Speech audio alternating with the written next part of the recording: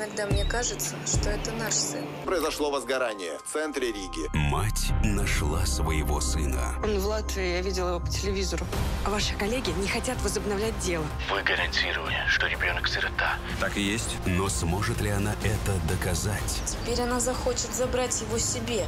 Домашний, главный женский.